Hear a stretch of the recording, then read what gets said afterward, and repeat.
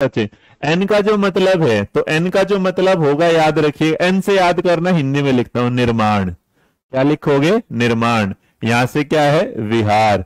तो निर्माण विहार वाले एमपी के एमपी है ना? निर्माण विहार वाले एमपी रोज सोते, रहते हैं। वैसे मेरा दिल किया था इस बात के साथ कि निर्माण विहार वाले एमपी पैसा लेते हैं, है ना? तो इसका मतलब रुपीज़ है। आर का स्कत क्या है? रुपीज़ है। तो इसमें मैं भी कर सकता था, लेकिन फिर ना किसी को क्यों बदनाम करा? तो इसका मतलब क्या कर देंगे? सोते रहते हैं। अब मेरे बच्चे एन का जो मतलब होगा, वो होगा नंबर एबिलिटी क्या बोला जाता है? नंबर एबिलिटी तो इसे याद रखना। क्या बोला जाएगा? नंबर जो वी का मतलब होता है, वो कहलाती है आपकी वर्बल एबिलिटी उसके बाद जो डब्ल्यू है, इसको बोला जाता है मेरे बच्चे वर्ड एबिलिटी जो एम है, इसको बोला जाता है एम से मेमोरी एबिलिटी उसके बाद जो पी है, उसको बोला जाता है परसेप्शन परसेप्शन एबिलिटी उसके बाद आर आर का मतलब क्या होगा? रीजनिंग की एबिलिटी